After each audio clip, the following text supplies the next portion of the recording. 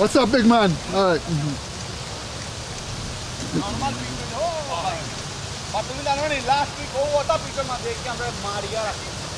So, Marlon Richards, the former Trinidad and Tobago captain, walks in, takes his guard.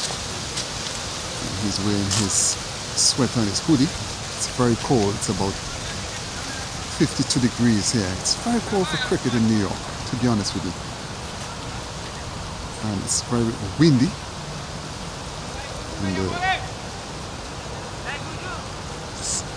you have some cloud covers building up in the distance. You have some dark clouds as well, cumulus cloud. Yeah, up he comes uh, from Orthodox. So Richards, and Richards rattled the pad and he's out LBW. Oh my gosh. That was that was a close one. Umpire says not out. Probably the arm ball. But that was a close call there for Marlon. Richards.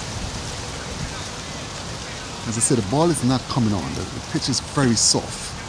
So if Melbourne can get to at least 100 runs here, it could be a very competitive match.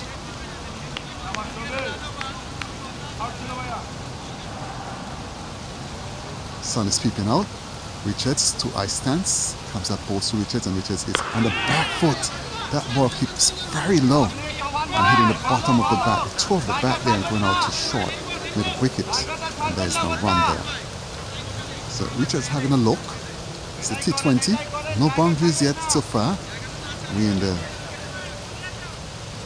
eighth over of the match. It's about 13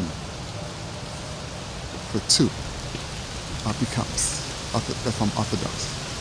And which is off the back foot, the space that nicely down to long off and jogs a single.